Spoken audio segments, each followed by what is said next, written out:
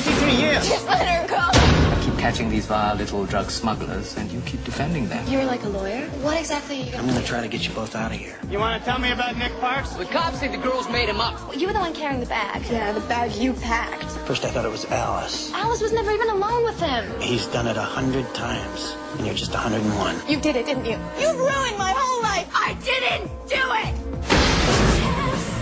Those girls have absolutely no chance of getting out of there, guilty or not. They're guilty. They're gonna die if we don't do something.